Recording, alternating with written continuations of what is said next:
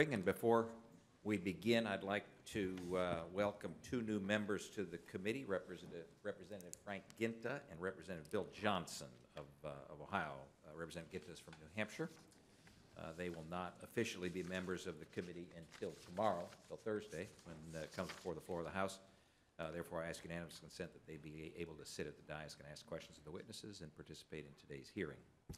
Uh, In addition, I ask unanimous consent that any members who submit a statement, uh, uh, who may submit a statement or extraneous material for the record may do so within seven calendar days, and that since the House is scheduled to have votes later today, that consistent with Clause 4 of House Rule 16, the chair may be authorized to declare a recess at any time. Without objection, the request is agreed to. Uh, We hold these uh, Members' Day hearings each year in order to uh, hear firsthand from our colleagues about their ideas for the federal budget. Uh, This hearing is directed by Section 301E1 of the Budget Act, and its intent is to give every single member of the House the opportunity to bring to the committee's attention the priorities of the diverse and dynamic communities that uh, they represent. This is an important part of building a uh, budget that actually addresses our nation's tremendous challenges, that can help promote a healthy economy, fiscal responsibility here in Washington, and more security for American families. It's important that every member have uh, the opportunity to participate in this conversation and be a part of this process. So we welcome the unique perspectives from all members, and we look forward to receiving their testimony. Before we begin, I'd like to uh, uh, turn to my colleague, Mr. Yarmuth, and ask if he has any comments. Mr. Yarmuth? Uh, Thank you, Mr. Chairman. I join you in welcoming our witnesses to Members' Day. It's always good to see so many of our colleagues taking advantage of the opportunity to join us and discuss their budget priorities for the country, their states, and their districts. I believe, as most of us do, that budgets are statements of our values, of what we believe is important, what rightfully deserves taxpayers' investment. Democrats have worked to put our economy first, investing in our working families and supporting a strong middle class. We believe and have shown that we can fund education, healthcare, infrastructure, research and development, and other programs at adequate levels while still reducing the deficit. Not only is it possible, but it is absolutely necessary. In the coming weeks, Democrats will present a budget alternative that does just that, invests in our greatest asset, the American people. I look forward to working with my colleagues in the weeks ahead to discuss the values we share and the areas in which we need to work together to best serve those we represent. Thank you, and I yield back. Thank you, uh, Mr. Yarmuth. Uh, We appreciate that, uh, that perspective. Uh, As a reminder, members will have five minutes to give their oral testimony, and their written statements will be submitted for the record. Additionally, members of the committee will be permitted to ask questions should they desire of each witness following their statements, but out of consideration for our colleagues' time and to expedite today's proceedings, uh, we'll uh, ask that you keep your comments brief. Uh, Now, pleased to uh, welcome uh, Representative Kilmer to the Budget Committee. Representative Kilmer, you have five minutes.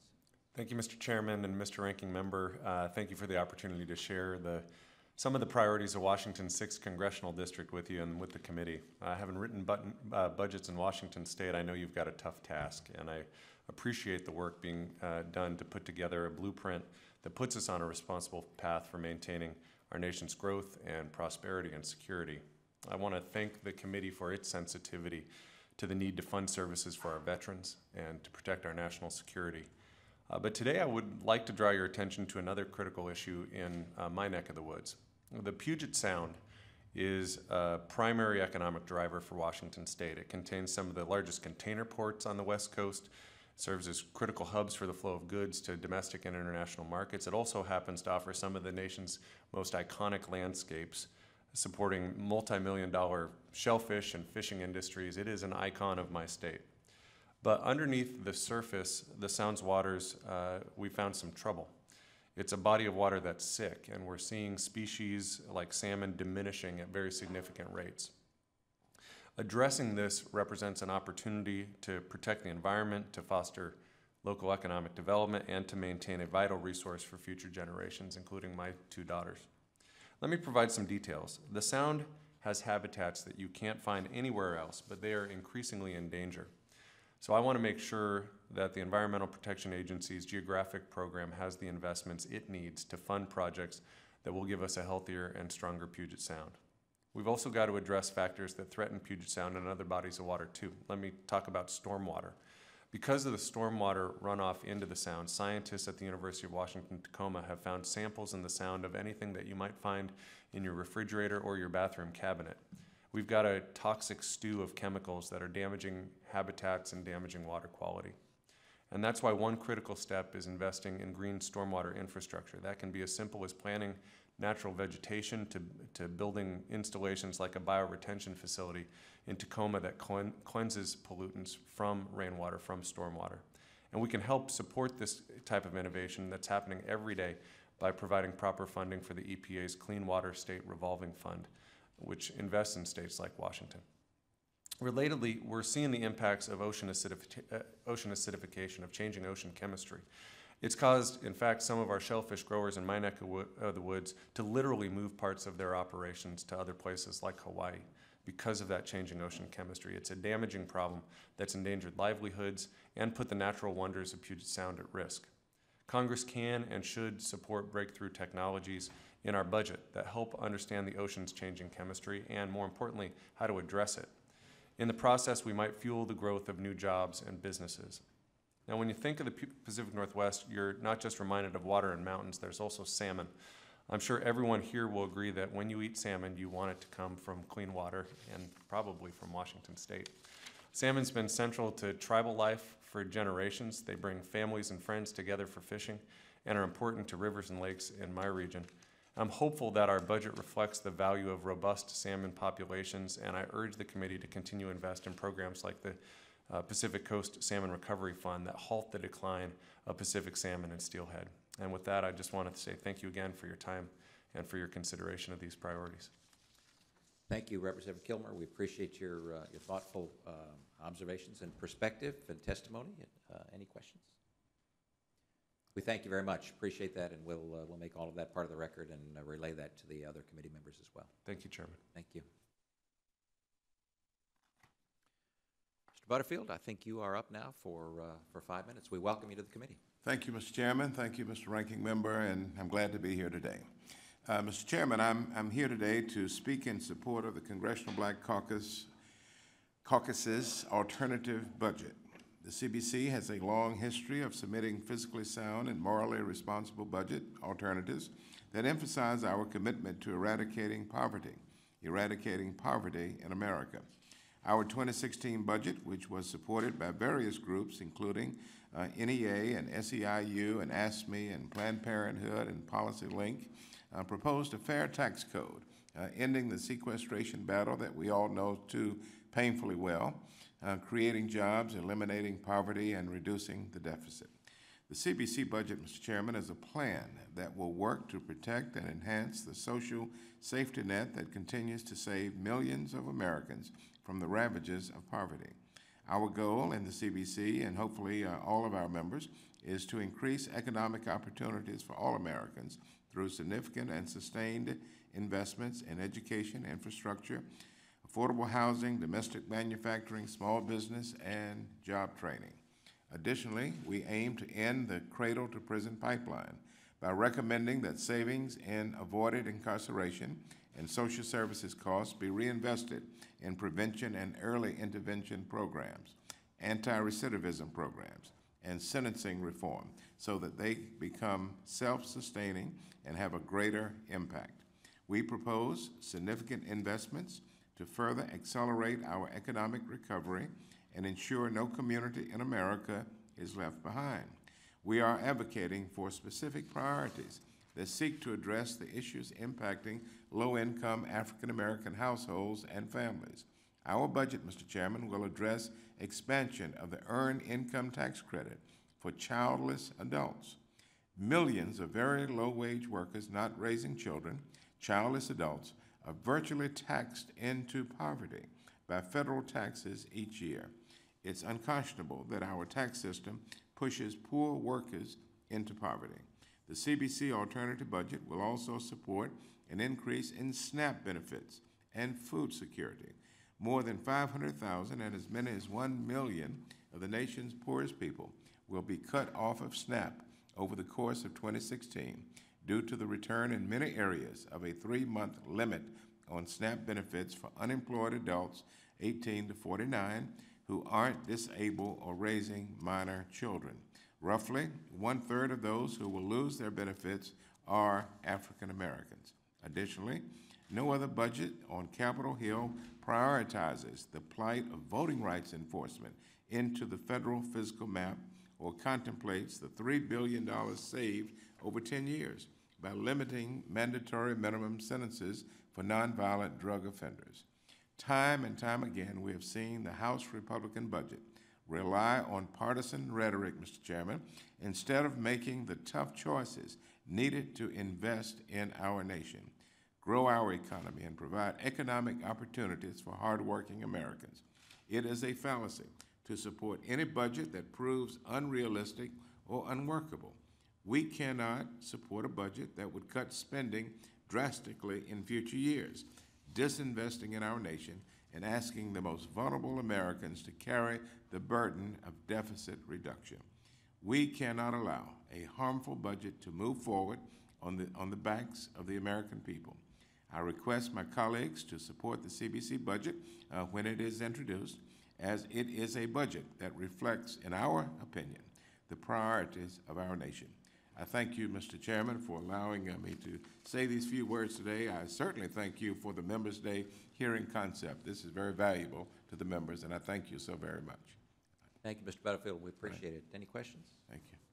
I want to commend uh, you, uh, uh, Mr. Butterfield, and the, and the CBC for always participating in the budgetary process. It's, uh, it's through that kind of participation and exchange of ideas that I think we get to a better work product, so.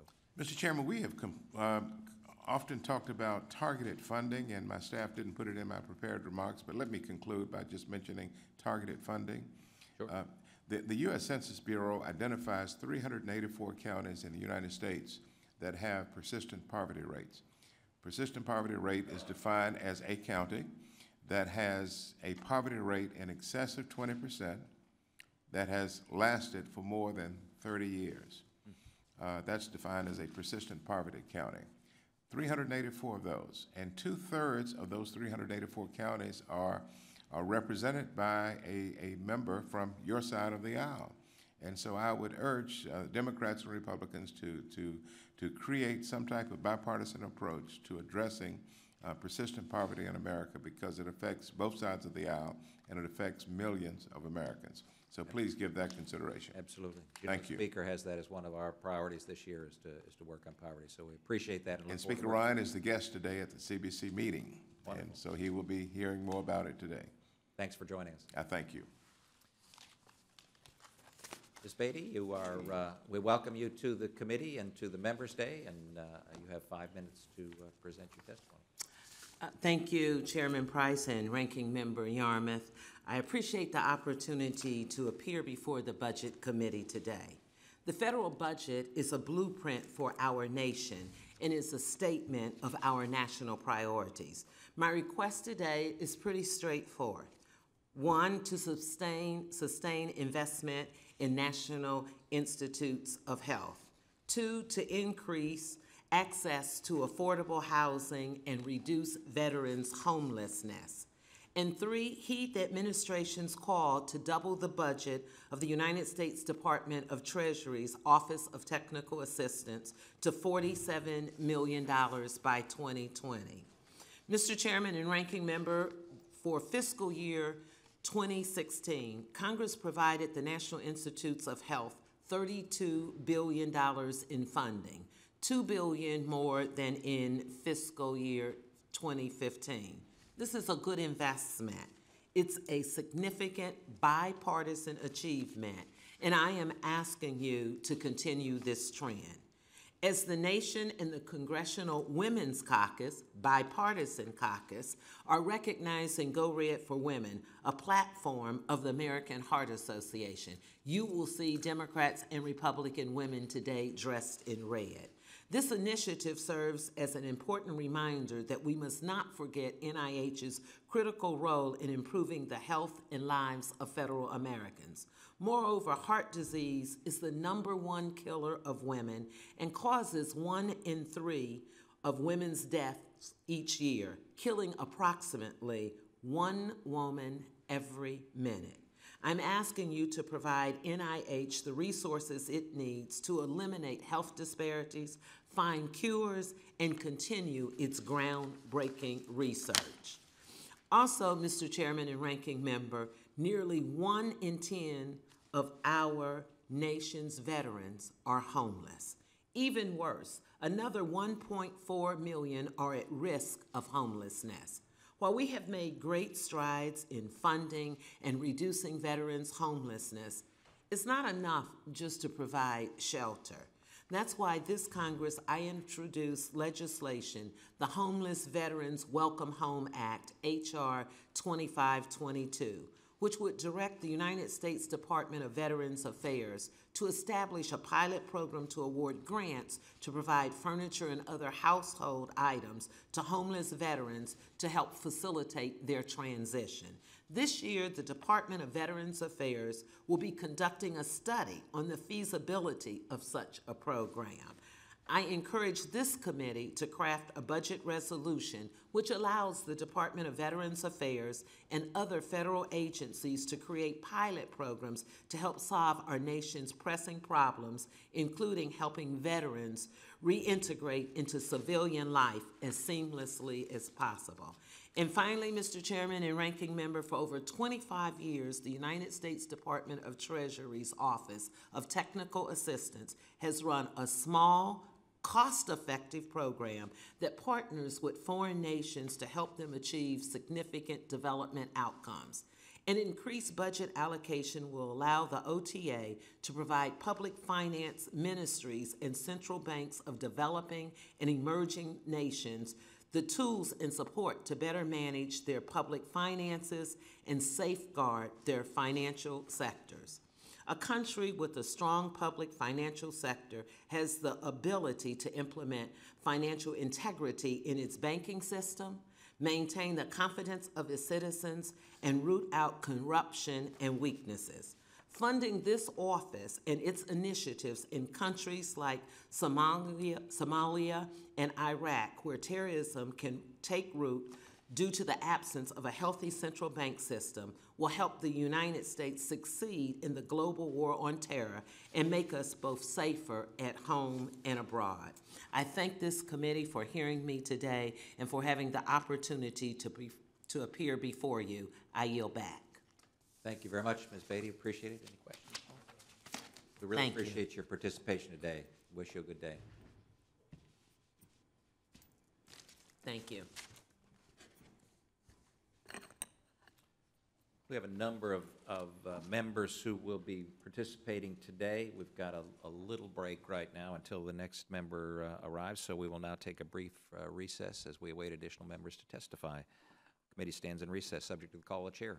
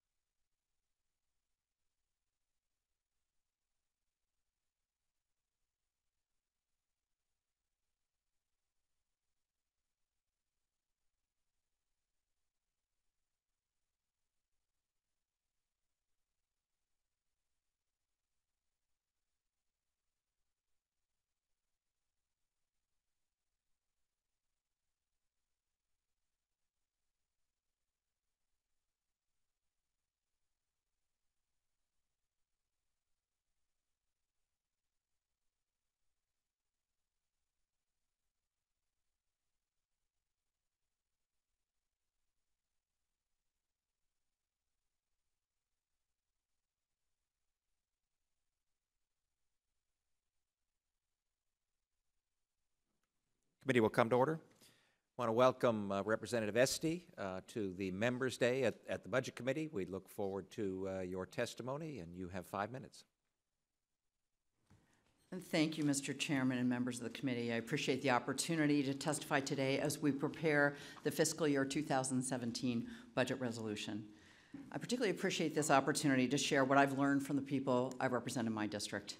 After all, it's my job to fight for them and their priorities and to be their voice here in the House of Representatives as we work together to fashion a budget that reflects the priorities of the American people. Uh, Please consider the issues that they've raised with me over the last few years as we work together for a common sense framework for a bipartisan budget, one that envisions a smarter, leaner government that creates a climate for good paying jobs and increases opportunity for all. Uh, last year, I held a town hall, a budget town hall in my district, and there I heard loud and clear from folks that Congress needs to do its job. And that's why I support the No Budget, No Pay Act. We need to do our job. We need to agree upon a budget and not just let it slide through. So as we look to craft a budget for next year, I urge this committee to focus on rebuilding, revitalizing, and renewing the American dream of educational and economic opportunity for all. Mr. Chairman, I've been calling on Congress to adopt an innovation agenda, an agenda that focuses on the following key bipartisan issues. First, rebuilding America by investing in our infrastructure and transportation systems. Second, revitalizing communities by focusing on economic development, remediating brownfields, and leveling the playing field for American manufacturers. Third, equipping a 21st century workforce with high demand skills by improving job training and education, particularly in the STEM fields of science, technology, engineering, and math, and especially focusing on computer science. Fourth, improving healthcare and addressing the epidemic of opioid addiction, which is particularly rampant in the Northeast. And fifth, protecting opportunity and expanding opportunity for all. I'd like to touch and expand quickly upon several of those points. As a member of the Committee on Transportation and Infrastructure, I urge the Budget Committee to focus on investing in our transportation systems. I worked very hard as a member of the Highway Subcommittee to get the new long-term transportation bill signed into law. That's providing $3.5 billion for my state of Connecticut. This is critical funds that each and every one of our states needs to plan appropriately and get people to work and home on time. But, but the bottom line is we are way behind. The American Society of Civil Engineers estimates that the U.S. needs to invest more than $3.6 trillion by 2020 to bring our infrastructure up to speed. And that will pay dividends over the long term. So moving forward, I think we need to look at creating bonds to help rebuild, rebuild America. Wall Street has done very well uh, over the last few years, and it would be great to get some of that cash that's accumulated off the sidelines and into an investment in the future of this country by rebuilding our infrastructure. Um, we also need to revitalize communities. Many of us who live have older communities where they need that brownfields remediation. I'm currently working on uh, on legislation with that with the Republican and Democratic mayors and first selectmen in my state who see that opportunity to put back in play uh, areas that used to be manufacturing centers and want to be manufacturing and technology centers again. Every dollar invested in this program leverages $18 in private investment. So it's a win-win for the country. Uh, EPA only has funding for 32% of the eligible products, uh, projects right now for brownfields remediation. We've got 18,000 eligible proposals, and this is really something that deserves our bipartisan support.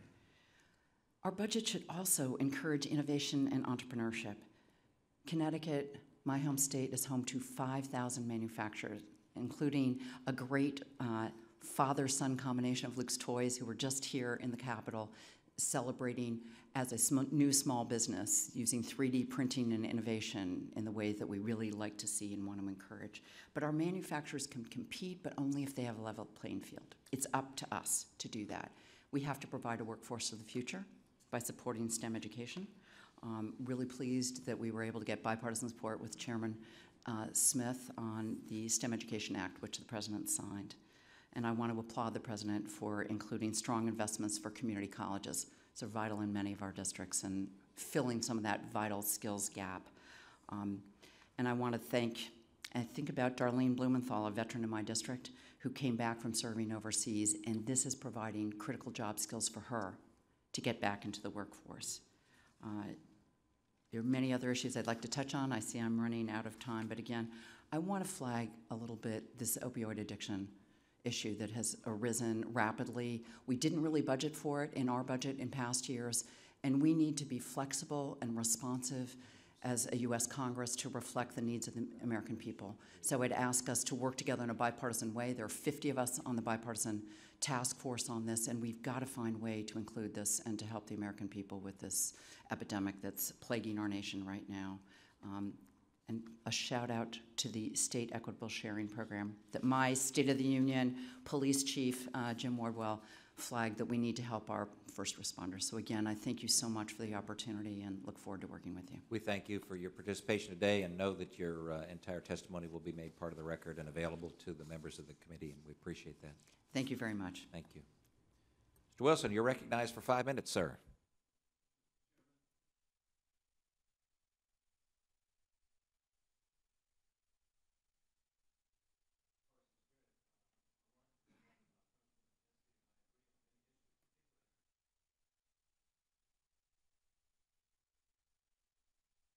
For job opportunity.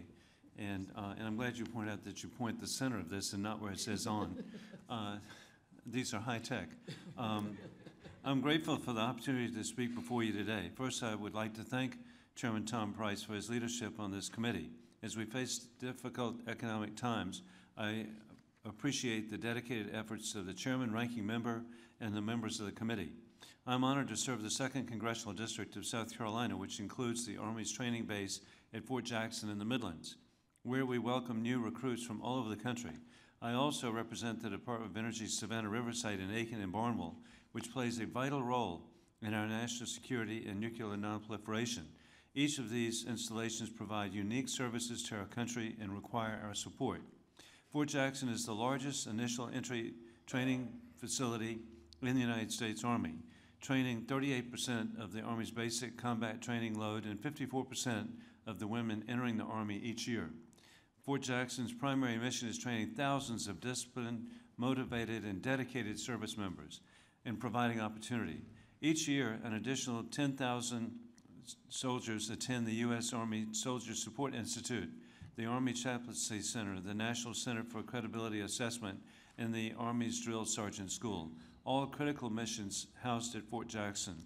The positive impact of Fort Jackson also extends beyond active duty soldiers, employing nearly 3,500 civilians and providing services for over 46,000 retirees and their family members. A little more than an hour down I 26 corridor from Fort Jackson sits the Department of Energy Savannah River site. This site is a national asset and disposes of weapons grade nuclear materials, conducts cutting edge research, and supports our nation's nuclear weapons missions. The critical role that continues uh, funding of the mixed oxide fuel fabrication facility, currently 70% completed at SRS. This facility is the only viable method at this time of disposing of weapons-grade plutonium and our country's only means to honor the plutonium management and disposition, disposition agreement we have with the Russian Federation. In addition to MOX, the Savannah River site is home to the host of other Department of Energy environmental cleanup missions, H Canyon provides our country with the ability to process high-level radioactive material and is the nation's only production-scale nuclear chemical separations plant.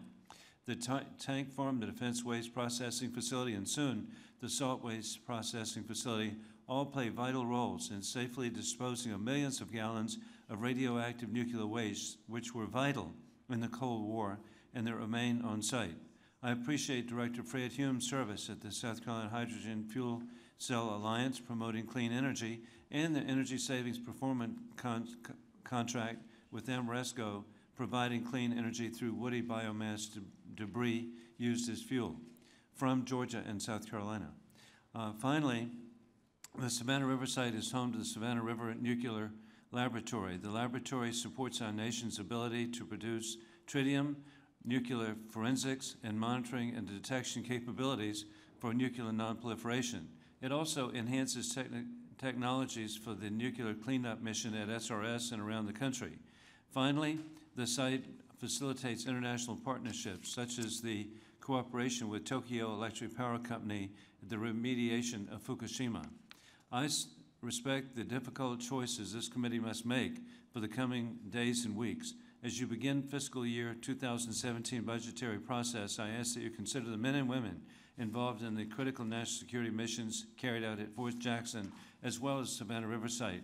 These individuals are dedicated to their country in putting service above self.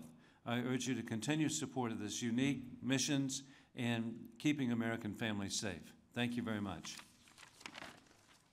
Thank you, Mr. Wilson. Question? Well, thank you for your participation here today as well, and you and Ms. Esty are welcome to stay as long as you like, but you are un- under no obligation to do so. If you stay too long, we'll put you on the committee itself. so- No, Hey, well, hey, wait, hey, what dedication you have to be here. Those- and- and- you. But, hey, you now get to hear Jan Schakowsky. This is good. Thank you so much. Appreciate your, your participation today. Ms. Schakowsky, we welcome you to the Members' Day uh, uh, at the Budget Committee, and we look forward to your testimony, and you have five minutes. Well, thank you so much. I grew up the daughter of a furniture salesman and a Chicago public school teacher. We were part of a strong middle class that built and strengthened this country. We were rich. We were not rich. We were far from rich, but we weren't worried. Today, after 30 years without a pay raise, average American workers come home every night to a full plate of worry. Despite decades of dramatic increases in productivity and the highest per capita GDP ever, average Americans have seen all of their gains go to the wealthiest few and nothing more in their paychecks. The cause of this growing inequality is straightforward. We aren't raising enough revenue from those who can, should, and have historically con- contributed more, and as a result, we can't invest enough in growing opportunity for those who seek to reach and remain in the middle class. We can fix both of these problems in this budget.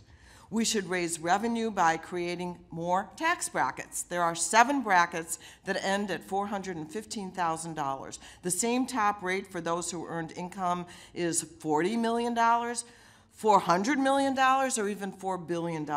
And then, of course, capital gains and dividend income are taxed at lower rates than earned income, which is the result of actual work.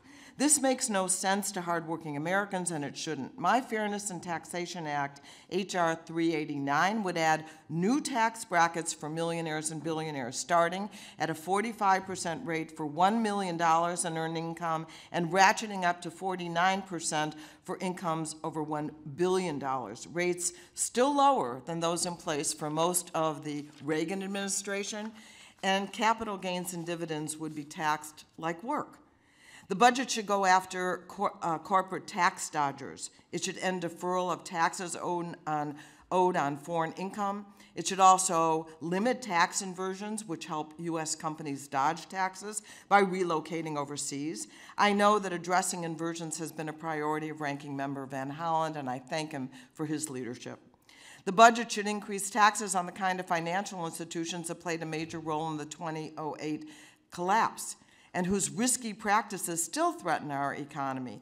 Both President Obama and former Ways and Means Chairman Dave Camp put forward proposals to raise additional revenue from those institutions.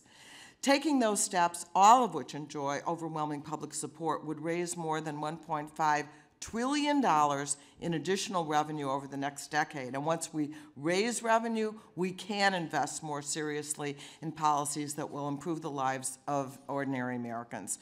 Our economy doesn't grow from the top down, it grows from the middle out. Ask any business owner what they need, and they will say customers. Without consumer demand, businesses can't grow. Without a strong middle class, there aren't enough customers, so it all starts with a strong middle class. This committee should commit to raising American wages. Starting with a long overdue national minimum wage increase, it's shameful that people in America work full time or piece together more than one job um, and, and still live in poverty. And it's shameful that low wage employers then come to the federal government to provide their workers with enough support to afford basic necessities of life. This committee should have provisions to enable collective bargaining and union representation at American companies, and to require that companies that contract with federal the federal government respect those rights. When workers are able to bargain for wages, those wages are higher. And by the way, women have equal pay in every contract I've ever heard of. Good wages and increased union membership would help address a critical concern for most Americans, and that's retirement. The average household nearing retirement has only $14,500 saved. So actions to improve retirement security should be a major priority in the budget. The budget should also bolster retirement security by looking at ways to reduce rather than increase out-of-pocket costs for Medicare, including allowing Medicare to negotiate for lower drug prices. And even Donald Trump supports that idea. And we should look for ways to provide affordable, quality, long-term care. One in five workers takes time off work to provide caregiving for an adult family member, according to a MetLife survey, losing an average $303,880 in income over a lifetime by doing so. Providing long-term care will help seniors, people with disabilities, and families. And despite our country's unprecedented wealth, we have been forced to operate in a frame of scarcity. Programs like job training, medical and scientific research, infrastructure, education, and even, even child nutrition have suffered.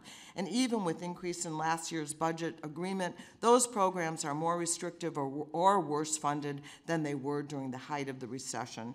Those short-sighted and irrational decisions, and I'm almost done, um, make it harder and harder for American families to reach and ma- remain in the middle class. We should invest more in education from early childhood to college. Research has shown that every dollar invested in education brings more than eight times as much in economic benefits back to the country. And finally, the budget should reward employers for doing the right thing for American workers and their families. We should start by enacting H.R. 2619, the Patriot Employer Tax Credit Act. That bill, which I reintroduced with Senator Durbin, would provide tax credits to companies that hire American workers and pay good wages and benefits. This committee has a great opportunity to jumpstart the middle class increase economic opportunities for more Americans. I hope and expect that it will, and I truly do appreciate the opportunity to testify. Thank you. Thank you so much for your testimony, your perspective today. We appreciate that, and it'll be made part of the record and uh, available to the other committee members. Thank you. Mr. Byrne, you are uh, welcome to stay there or move to the center, um, uh, and uh, right, that'd be great.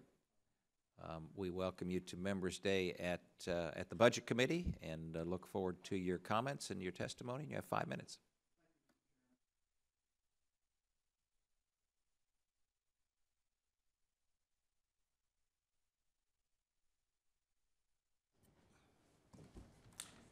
start all over again. I want to thank you for the opportunity for members like me to share our idea. I think this is a very valuable thing for the entire House. And I know you've got a difficult job ahead. I don't envy you one bit. But I'm excited about the opportunity to share an idea about a very important part of the budget. It's something that I feel very strongly about. I represent a district in southwest Alabama that has a high percentage of people who are poor. And this is not something that's new for me to be dealing with. It's something I've dealt with since when I was in college. Here's the problem with our policies and therefore the way we budget for these programs. We treat poverty in America like it's an incurable disease, like it's a chronic incurable disease. And so we have these programs that deal with the effects of the disease. But we don't really try to lift people out of poverty, which is what we should be doing. And I've been a part of efforts that have successfully lifted people out of poverty. And we don't really do that. Our programs are really not designed to do that at the federal level, which I think is a crying shame. We spent $20 trillion since the war on poverty began and barely affected how many, the number of people, percentage of people in America that are on poverty. Well, shouldn't our policy at the federal level be let's lift people out of poverty? So I want to talk to you briefly today about some ideas I have about that that I do think greatly affect the budget. And I want to make it very clear. It is not my intention to throw people who need help off of the programs that provide them with help. Indeed, I want to find ways, positive ways, to help people that need help to get the help that they need, but also to receive the help that they need to get out of poverty altogether. So let me talk about that. For several years, I was the chancellor of post-secondary education for the state of Alabama. In that role, I was also the chair of the State Workforce Planning Council. Now, for most of us that went to a four-year college, we don't understand two-year colleges. We don't understand people that need those sorts of programs. Well, I spent a lot of time with those people, and I can tell you they don't want to be on welfare. They don't want food stamps, they want Medicaid, they want a way to get out. And they'll come to a program like a two-year college or a high school GED program because they want to make their life better, they want to make their family's life better. But our welfare policies in America actually provide perverse disincentives for them in that regard. So, what I think we need to do is to think completely anew about these programs. And I'm talking about welfare, food stamps, Medicaid, governmental housing assistance, and it all adds up to be about 92 different programs. And this year we're going to spend about $800 billion on them. Now, these are mandatory spending. We don't appropriate it, it just goes out automatically, which frankly doesn't sound like a very responsible way for us as congressmen to deal with the budget and appropriations process for the American people. So, what would I do differently? Well, first, I would collapse these programs into one program. It is a nightmare for the states, and frankly, it's a nightmare for the beneficiaries to deal with 92 different programs. And they have all these sometimes conflicting requirements and regulations, et cetera. Secondly, we should build into those incentives for people to get work, if they're on work, to continue to re- receive the stuff they need to receive while they're getting themselves out of poverty. Sometimes we let people who are working get to a certain point, then if they go over that point in their income, they lose some of their benefits. That makes no sense. We should be giving them an incentive to stay in the world of work and try to make their lives better. But we also need to make sure we have something on the other side. And that is a very, very firm commitment that they will go and find themselves a job. Now, for many of these people, that's not realistic because they don't have the education or training to go get the jobs that are being created in our workforce. We have a tremendous skills gap in America. I hear it all the time, and the data is overwhelming. I'm on the Education and Workforce Committee, I see this all the time. We have told a whole generation of young people that in order to get ahead in life, you've got to get a four year college degree. When in truth, only about 30% of the jobs we're creating in America need that. The other 70% of Americans need a high school diploma and one of our high demand technical skills that are provided primarily through our two year colleges around the, the United States of America. The problem is, is that we are telling people to go to college and get a four-year degree when most of them really don't want to do that. And we've not been giving them the means to get easily into these two-year college programs so they get the high demand skills for tomorrow. I'll give you one example in my district. We have a number of shipyards. We can't get enough welders. Yet we don't have the programs in place to take people who are are uh, in poverty or on these programs and get them the skills so they can go out there and get the jobs that are out there. So I would like to suggest, I see my time's running out, I'd like to suggest to the committee this. Let's think completely anew about these programs. Instead of treating poverty as a chronic, incurable disease, let's make it our goal that we will cut the poverty rate in America in half. Now, there are three things that come from that. One, we benefit every one of those people and their families because they get out of poverty. Second, it saves the American taxpayer an enormous amount of money $800 billion on these programs.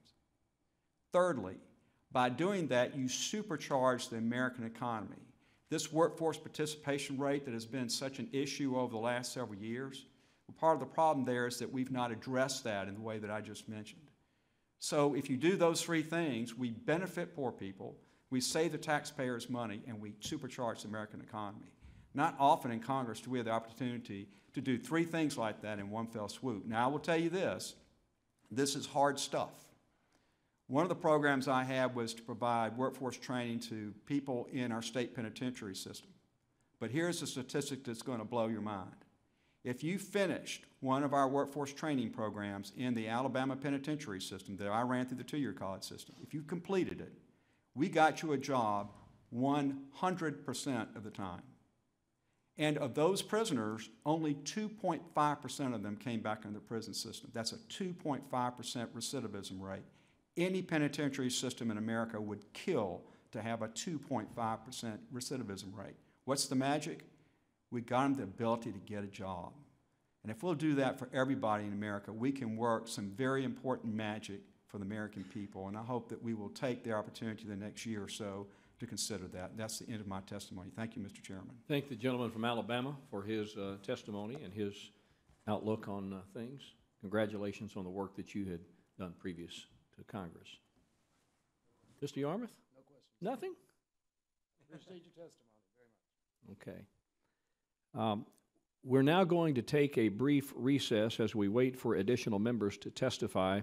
So at this time, the chair will declare us in recess, subject to the call of the chair.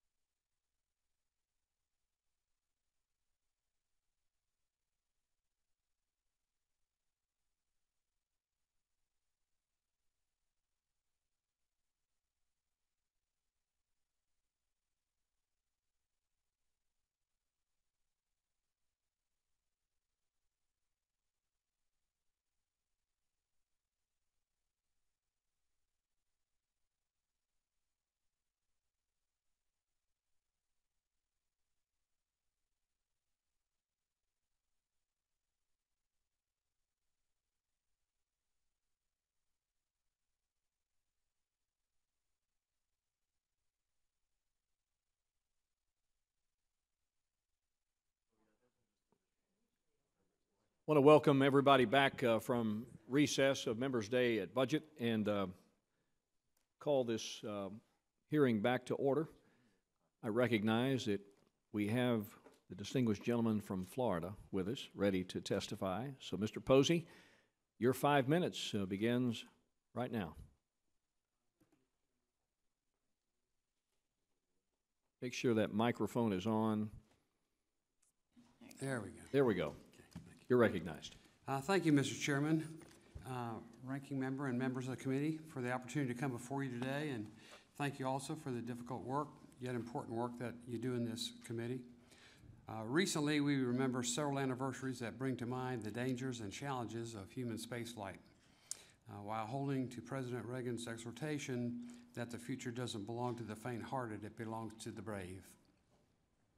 We remember the 49th anniversary of the Apollo 1 disaster that claimed the lives of three brave American astronauts and marked the first casualties of our space program.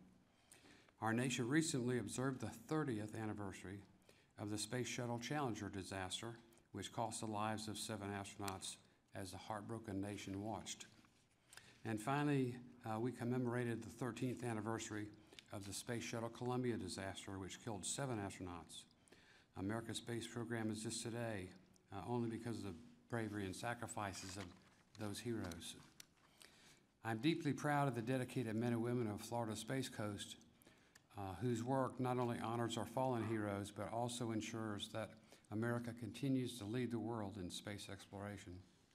As this committee sets priorities for the 2017 uh, budget and beyond, I ask for your continued support for our nation's space programs, and particularly our exploration programs, as NASA enters an exciting new era of human space exploration.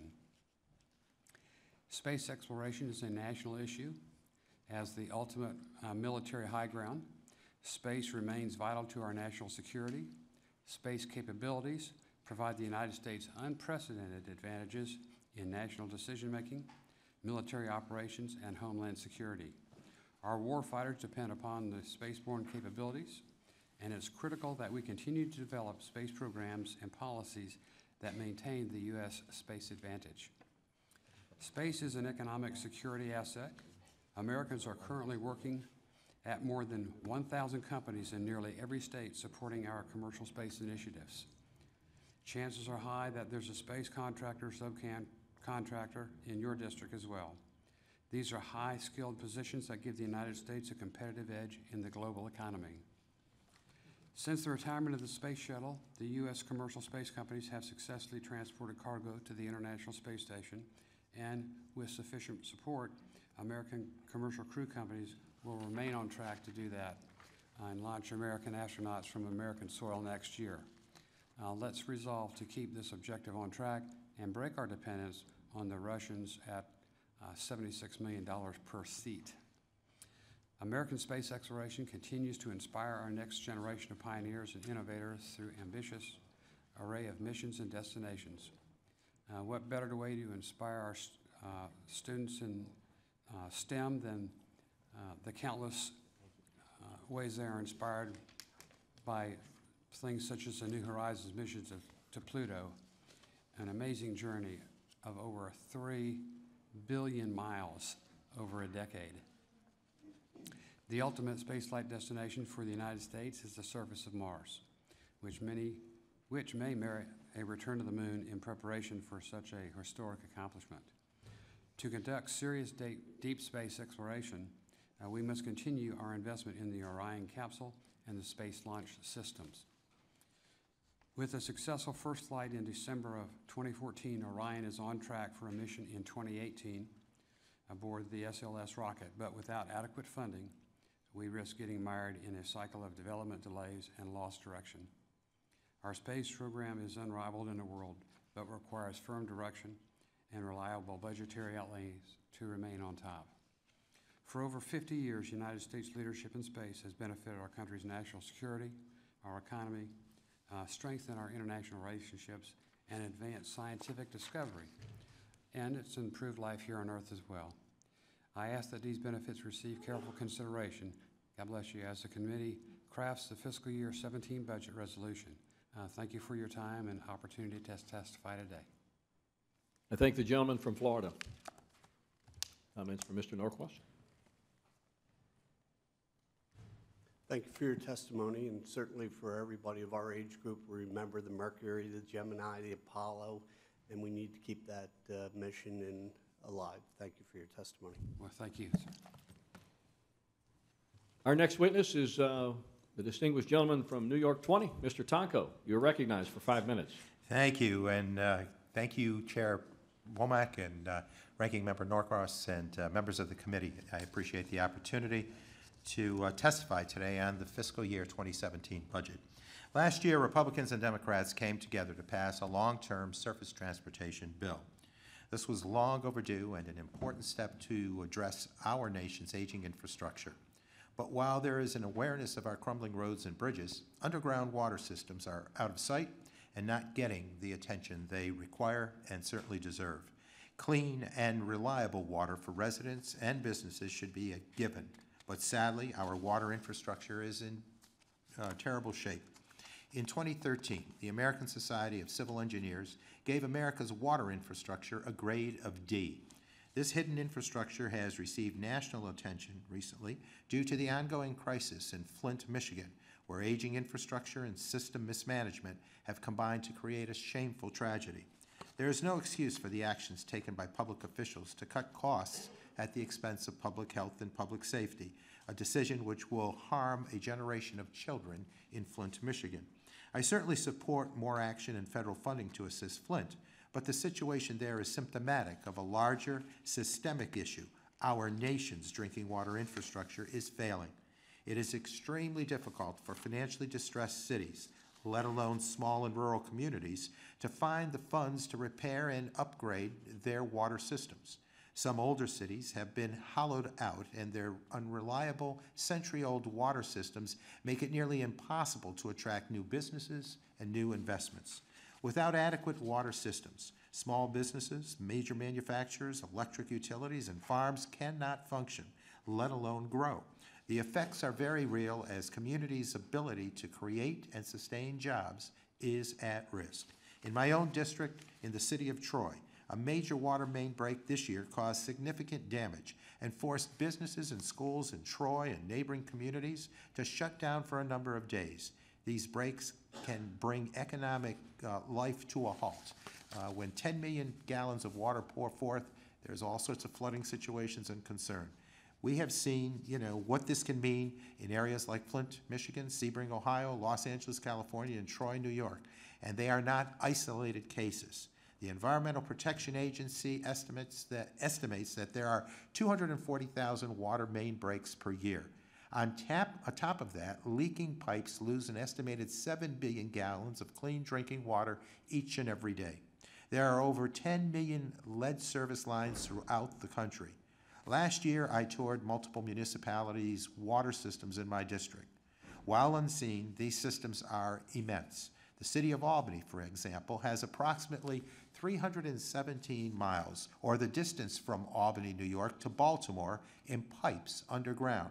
This system includes pipes that are 135 years old, dating back to when Rutherford B. Hayes was in the White House. On my tours, I heard countless stories of pipes bursting and public service interruptions, all due to a decades-long habit of, in, of disinvestment and complacency when it comes to maintaining, developing, and improving the way we utilize one of our most important commodities. We must heed these warnings. Local budgets, especially in legacy cities with declining populations, are struggling to find the funding to improve and maintain their aging water systems. This cannot stand. Their comeback opportunities are taken from them. Other catastrophes can be avoided, but it will take federal leadership and investment, starting by reauthorizing the Drinking Water State Revolving Fund, the SRF, and increasing its funding level significantly. The EPA's fifth national assessment of public water system infrastructure in 2013 showed a total 20-year capital investment need of some $384.2 billion between 2011 and 2030. This is a real increase of about 157 billion since the first assessment was released in 1995. We are going in the wrong direction. We have a responsibility to maintain the infrastructure that is the foundation for a modern society and a modern economy. Otherwise, we leave our children and grandchildren a tremendous maintenance bill while jeopardizing their public health and future prosperity.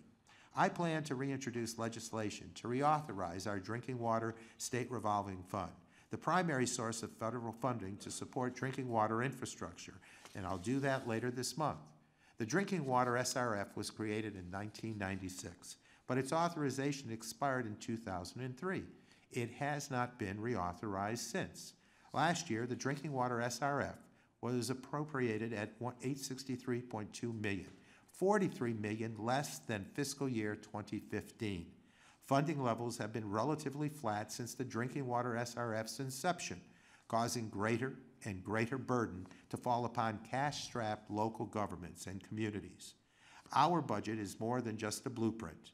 It is a statement about our priorities and our values as a country and as a Congress. Investing in our hidden infrastructure is the responsible thing to do, and it must be a priority of this budget. Only through robust federal investment and partnerships with states can we hope to reduce the growing funding gap and help water utilities do what is expected in a modern society, and that is deliver clean, safe drinking water to homes and businesses and manufacturing sites. Again, thank you for letting me appear before you today. This Congress must wake up and acknowledge the unseen need for investment in our nation's drinking water infrastructure and the critical role that our federal government must play in order to meet that need. I welcome any member's input to improve the partnerships between federal, state, and local governments to tackle this funding gap, protect public health, and bring our water infrastructure into the 21st century. With that, I yield back the balance of my time and would be happy to respond to any questions that you gentlemen might have. I thank the gentleman. Mr. Norcross. Uh, Thank you for your testimony. Certainly, the cost of doing nothing is what happens in Flint, Michigan. We appreciate it. Uh, At this time, as uh, we wait on further members to testify before Members' Day uh, at the budget, I will declare this uh, hearing in recess, subject to the call of the chair.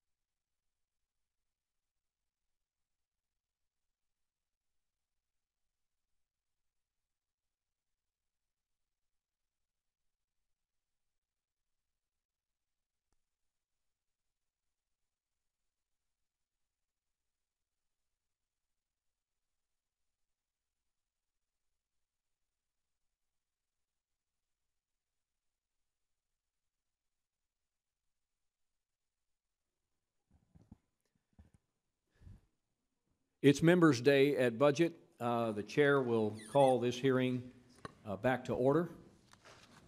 The chair recognizes the presence of the distinguished gentleman from Virginia, Mr. Scott Rigell. And uh, Congressman Rigell, welcome, and uh, you are recognized now for five minutes. Thank you so much. Um, It's just a a privilege to be here. Uh, I have made a decision to not seek reelection, and uh, when I first came up here, I with my staff that uh, I wanted, uh, in the time that I'd serve here, to serve without fear and leave without regret. And I knew if I didn't take this opportunity to speak before this important committee, that I would regret it. So I'm here, and I appreciate the opportunity from my Republican and Democratic colleagues and friends. Uh, we, uh, as a nation, just hit another uh, troubling marker of 19 trillion dollars in debt. It represents 104 percent of our economy, and I know members on this committee are, are well versed in these matters. Um, as a business person, uh, just looking at our fiscal situation, I know that interest rates can only go one way, up. And a 200 basis point increase, two full percentage points is possible, even likely over the next several years and perhaps sooner. And um, I know I'm on solid ground in saying that uh, that would result, at least for each full percentage point, $100 billion of, of really vapor, just uh, interest going out, not, not going toward Alzheimer's research or something else that we all value and want to advance, but just an interest. This troubles me greatly. Um, and as I look at the demographic situation, underlying all of it is a one-third increase in seniors where our, our parents and grandparents are living longer. Indeed, my own parents are uh, still doing well at 93 and 86. This is a good thing, but the fiscal aspect of it needs to be considered.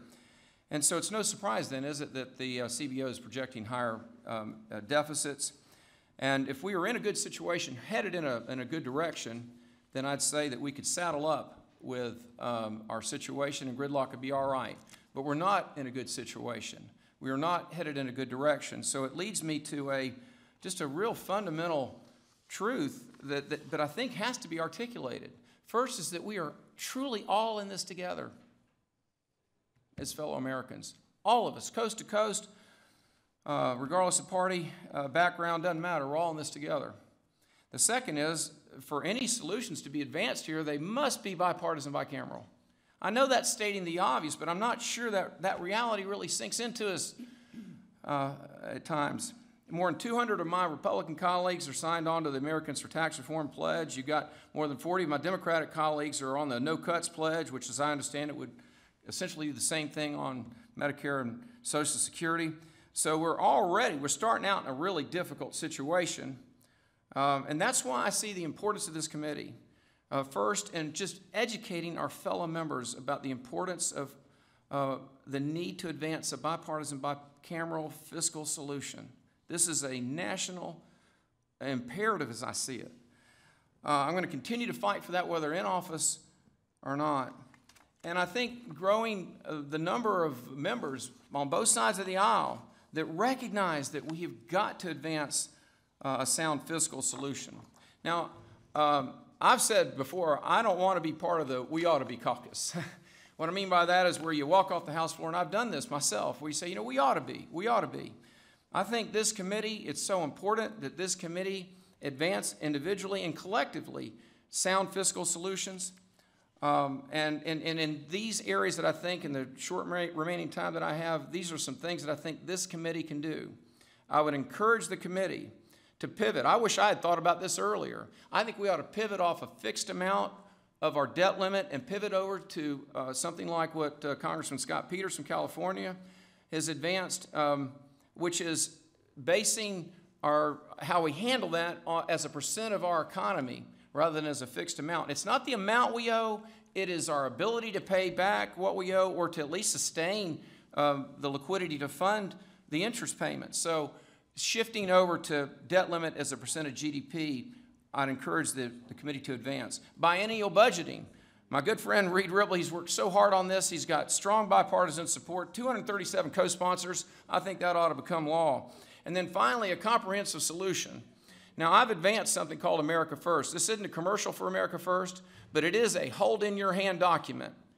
It can be evaluated, it can be um, critiqued, criticized, but we need this kind of leadership, I believe, not only in this committee, but in the House of Representatives and from Congress and indeed from the White House as well.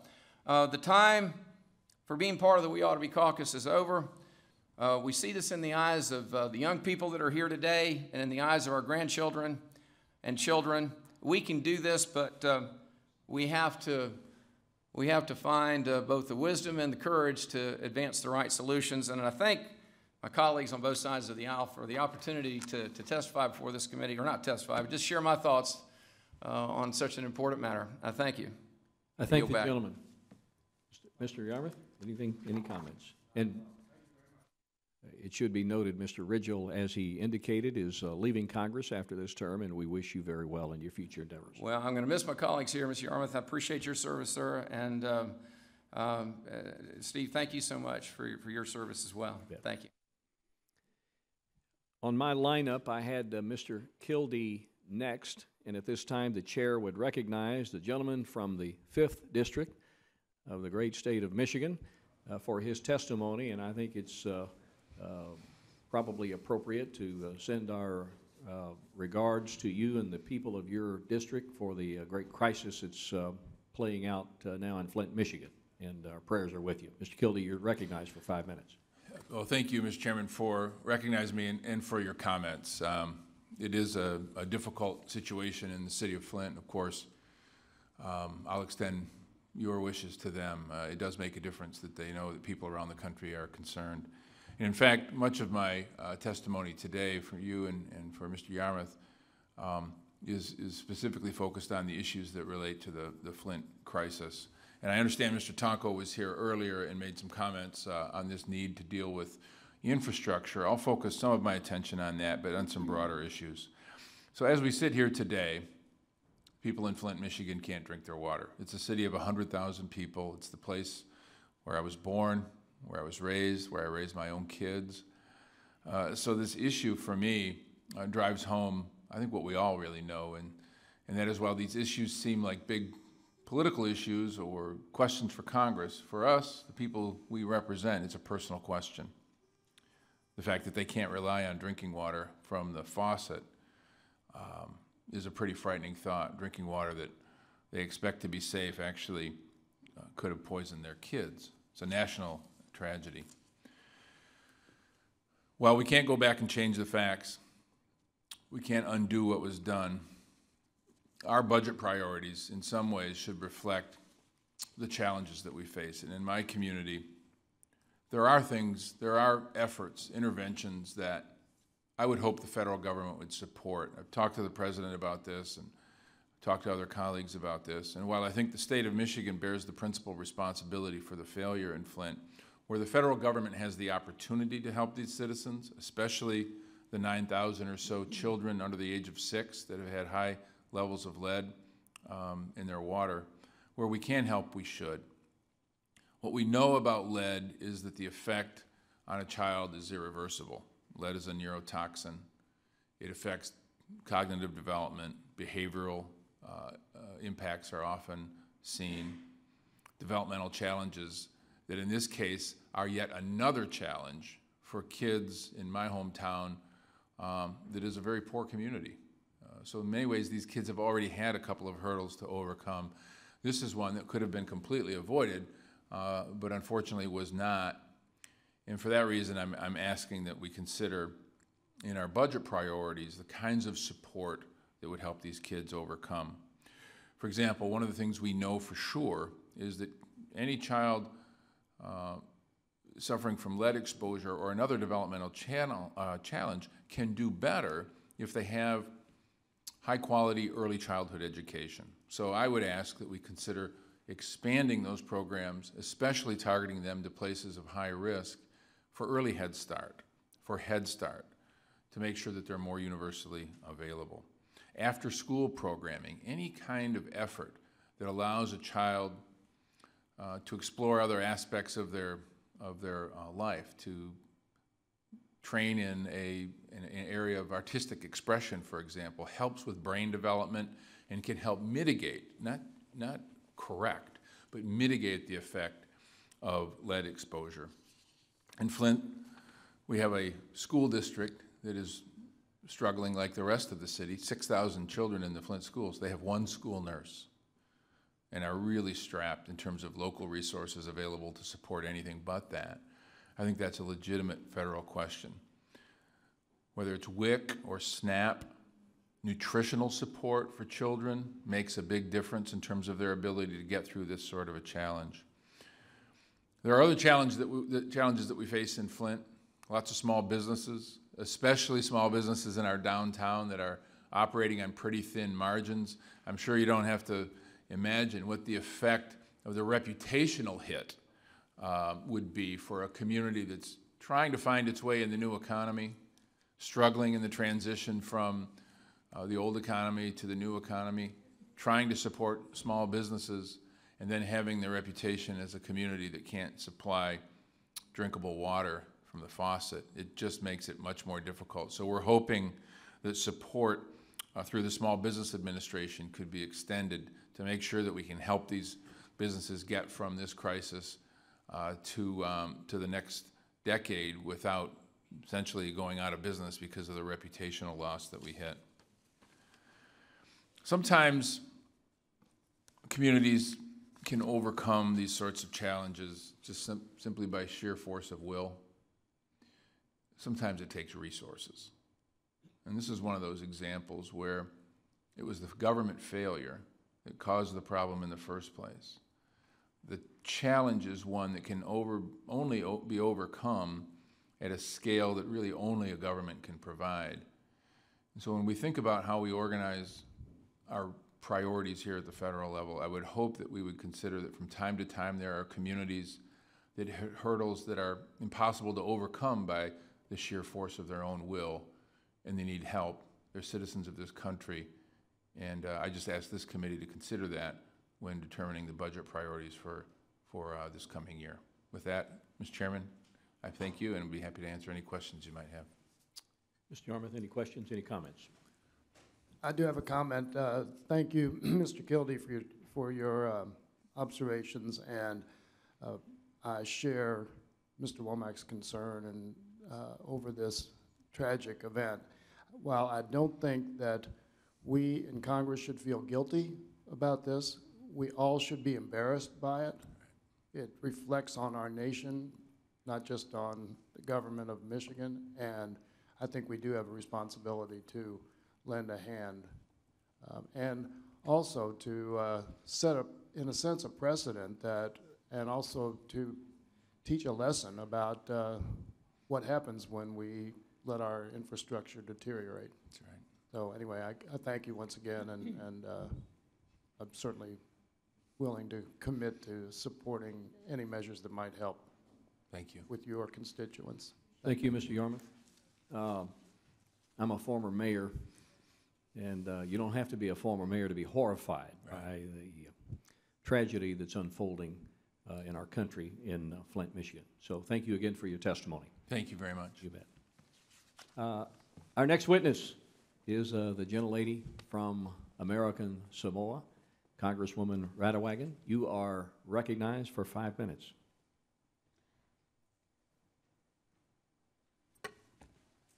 I'd like to thank you, Mr. Chairman and the ranking member for allowing me the opportunity to testify today. It is my mission to see that the people of American Samoa are afforded the same opportunities and resources as their countrymen have here in the states and other territories, which is why I serve as Vice Chairman of the House Natural Resources Subcommittee on Indian, Insular, and Alaska Native Affairs, and it is in that capacity that I speak to you today. The dedication of the people of the United States territories to the United States is unquestioned, as evidenced by their unmatched rate of enlistment into our nation's armed forces, and we're grateful for all funding assistance. However, for many years now, the territories have been shortchanged and even left out altogether when it comes to funding from the federal government. In regards to health care in my home district, there is only one hospital to serve 65,000 people in American Samoa. The funding for the hospital comes from the Office of Insular Affairs allocation for the American Samoa government operations. The amount allocated through that account has not changed since its inception over 20 years ago and sits at $22.75 million annually. Because this account also funds our local Department of Education, the local community college, and the High Court of American Samoa, the current figure is inadequate, to say the least. Imagine if a state, any state, had that same amount of funding for just its elementary and secondary education department. There would be an uproar, to say the least. This is not just the case for American Samoa. The issue of non adequate funding for all territorial programs persists through all five U.S. territories. And while some progress has been made recently in the area of education funding, it is still far from being on par to the dollar amount allocated per student in the states. Also, because the hospital does not meet the Department of Veterans Affairs standards, our veterans have to travel six hours by jet to Hawaii for any procedure that requires them to need hospital care. Think about that. That's like having to fly from Washington, D.C. to Los Angeles just to see your doctor. If the hospital had the funds to implement the changes and upgrades needed to serve the large veteran population on our island, it would be a huge cost benefit to the VA as well as our veterans and civilian population who utilize the hospital. It is my intention to pursue legislation this year that would require VA to conduct a study to see what changes and improvements need to be made at LBJ Hospital so that our veterans can be served there instead of having to fly to Hawaii. Also, just this past year, the manda- mandatory minimum wage level in American Samoa was increased by 40 cents due to the statute contained in the Fair Minimum Wage Act of 2007. Many of ASG's employees are minimum wage level, and I'm concerned that without an increase to the ASG operating account, they'll be forced to cover an unfunded mandate that could very well lead to the same situation that Puerto Rico currently finds itself in. When it comes to transportation and infrastructure funding, or lack thereof, to properly repair current roads and bridges is causing a hardship on those who travel them and a loss of revenue that is so crucial to the continued health of the local economies. While I understand that times are tight and we need to look for ways to reduce the deficit, abandoning our responsibility to provide safe and reliable roads in the territories is not the way to go, and the territories should not be forced to compete among themselves for the already grossly inadequate funds they receive. An increase to that account would go a long way in resolving the issue. In order to maintain and even improve the quality of life, create economic opportunity, and to promote efficient and effective governance in the territories, I'm also in support of increases to the budget of the Office of Insular Affairs for activities in technical assistance and maintenance assistance, all of which address top concerns identified by island leadership and benefit all insular areas. I'm also in support of action to approve and implement an agreement with the Republic of Palau that emerged from the review of its Compact of Free Association. The agreement was reached in 2010, but has not been approved by Congress because of many disagreements with the administration about how to fund it. One of the most important and significant achievements the United States could do this year in the Pacific region would be to approve that agreement. I want to close by encouraging you all to find ways to increase the funding for the territories, which at best represents nothing more than scraps off the table thus far. In what would amount to just a small drop in that big bucket would do so much in alleviating the discrepancies between the states and territories. Thank you again for allowing me to be here today and for the work you do to ensure that all Americans are afforded the same opportunities and resources during such fiscally difficult times. Thank you, Mr. Chairman. Thank the gentlelady. Mr. Yarmuth? Thank you for your testimony. We're going to head off now to the Granite State, where the gentlelady from the Second District of New Hampshire has been waiting patiently. Uh, Representative Kuster, you're recognized for five minutes. Thank you, Mr. Chairman, and to our ranking member. I appreciate your taking the time for allowing me to speak about a topic that's important to me and my constituents and constituents in districts all across the country. There's nowhere I go in New Hampshire at this time where I'm not meeting and talking with folks who have been intimately affected by the opioid epidemic that's devastating our state. This crisis is certainly not limited to my district. In recent months, I co founded the bipartisan task force to combat the heroin epidemic to advocate for policy solutions to this crisis, which has grown to historic proportions. There are already over 50 members who have joined our task force from both sides of the aisle to help raise the profile of this issue in Washington. Across our districts, we're seeing communities struggle to deal with the issue. Our medical providers can't keep up with the flow of overdoses entering their clinics, and there's simply not enough capacity to secure treatment for those who need it. Our law enforcement and first responders have taken on the burden of responding to more and more potentially dangerous situations when a call for help comes in, and these calls are becoming more and more frequent. Statistics now show that more Americans die from drug overdoses than car crashes. In New Hampshire alone, the opioid epidemic continues to grow. In two, uh, 2015, there were roughly 400 drug deaths in the Granite State, surpassing the current record the year before of 324. Without quick action, these numbers will continue to rise.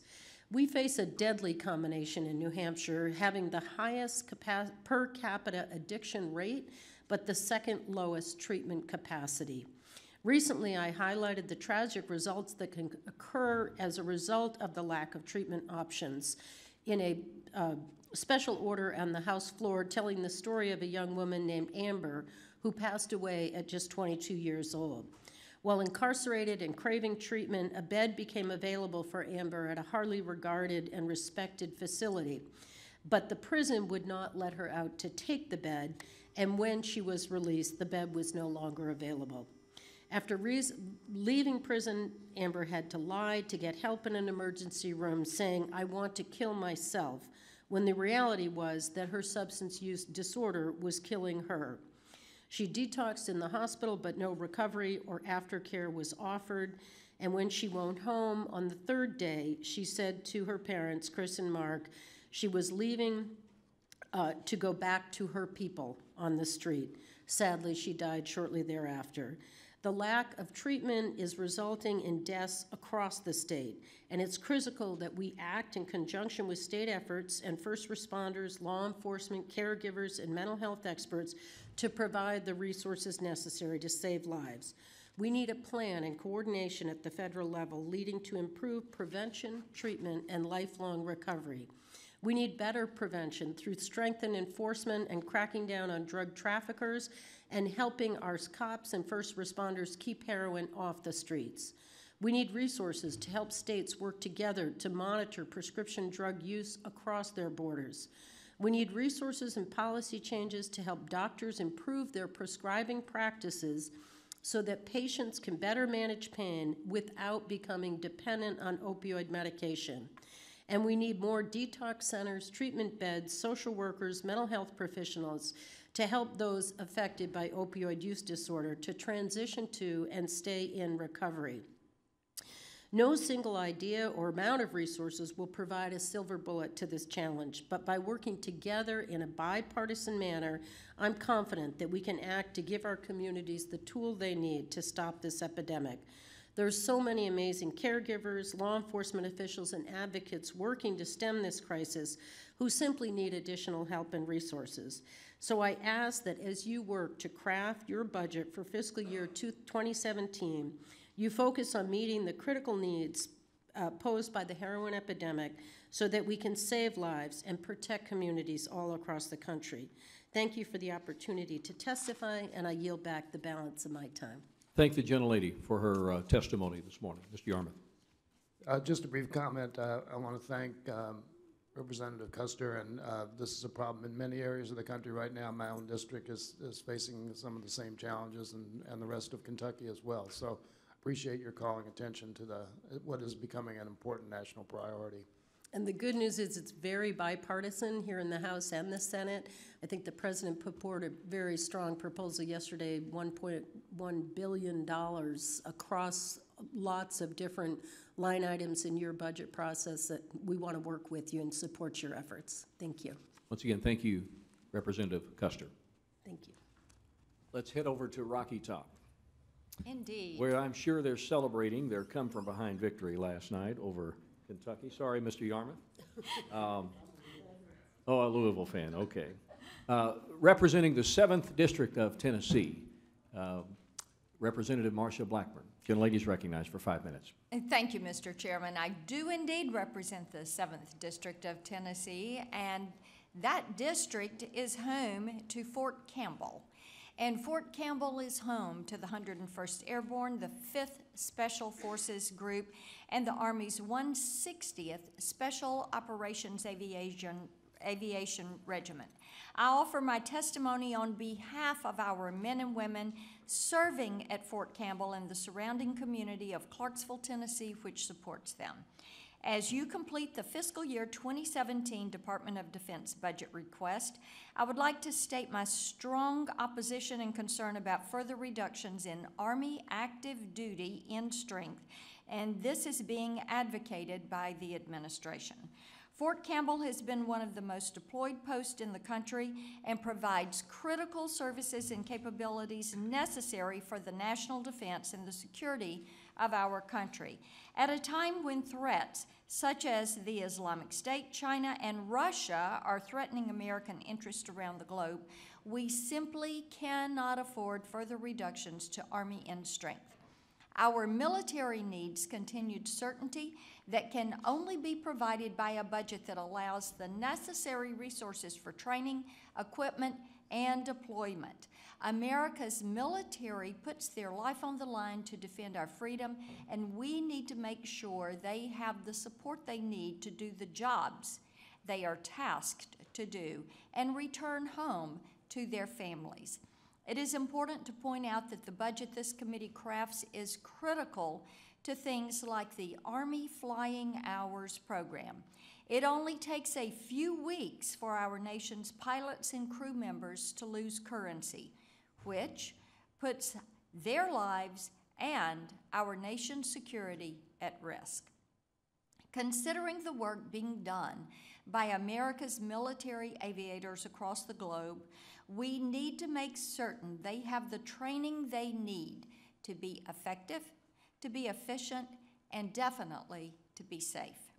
Further reducing our nation's armed forces and training programs is going to hamstring their readiness. It will put American lives at greater risk, and it will diminish our ability to meet the unforeseen threats posed by an increasingly destabilized world.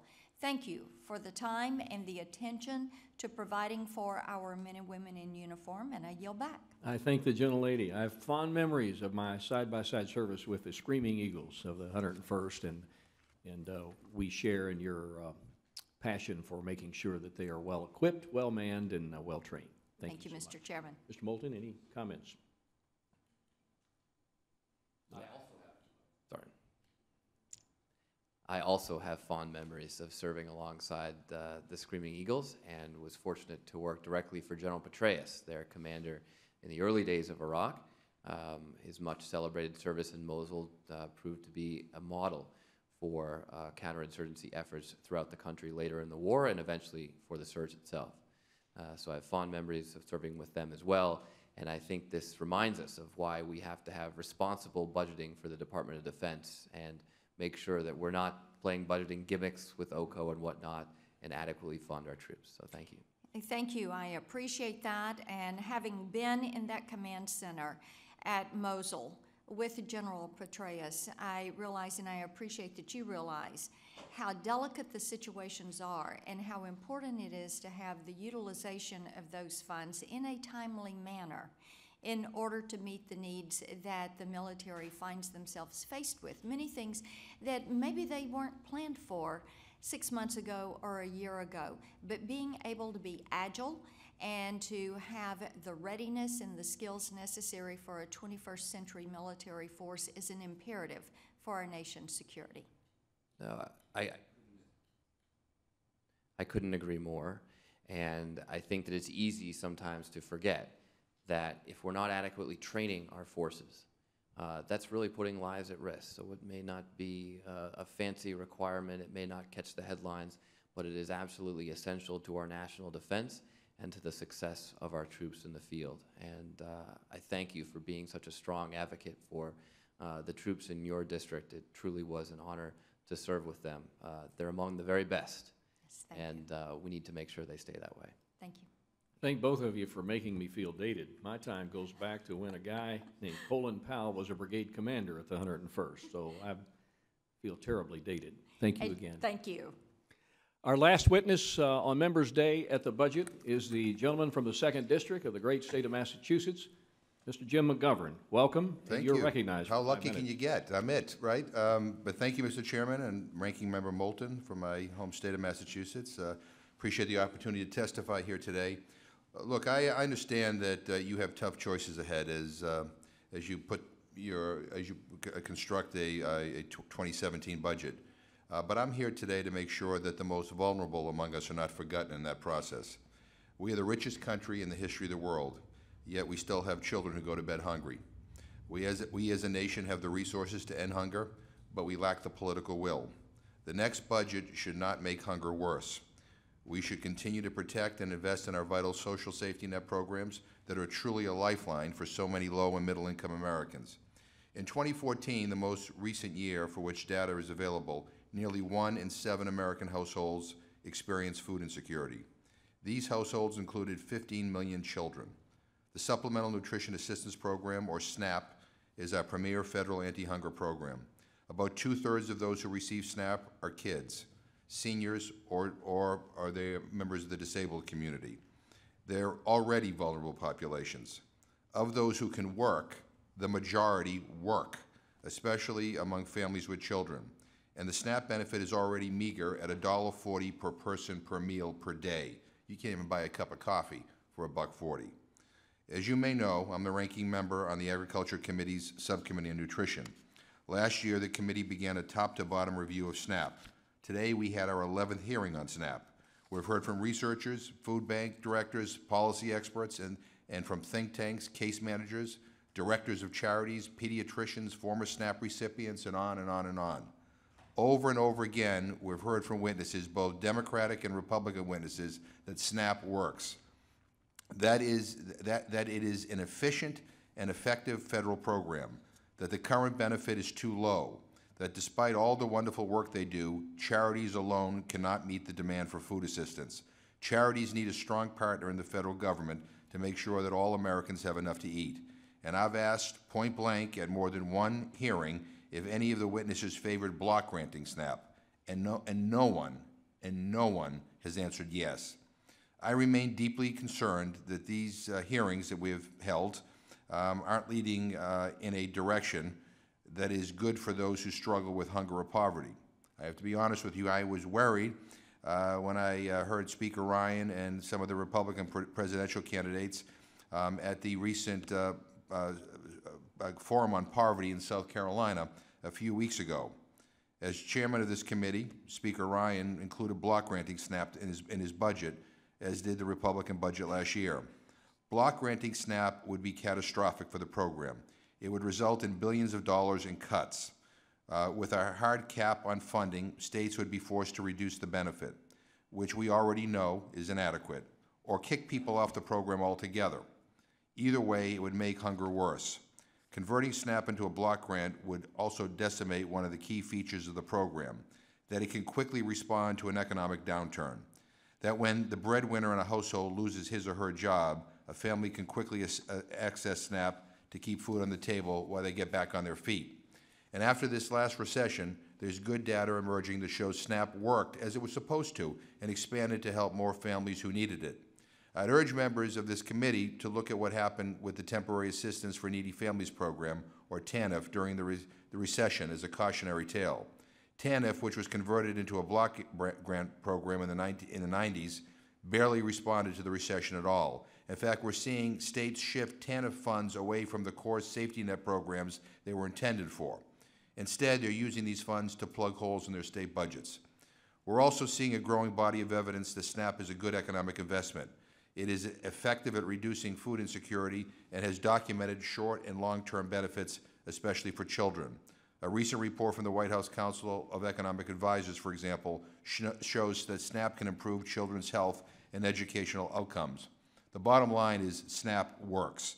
Mr. Chairman, I would also point out that the most recent CBO projections, which show, which show SNAP participation is expected to continue to decline over the next decade as our economy recovers from this recession. Finally, I would remind you that the current Farm Bill included $8.6 billion in cuts to SNAP. And this cut came in addition to an $11 billion across-the-board cut to SNAP that took effect at the end of 2013.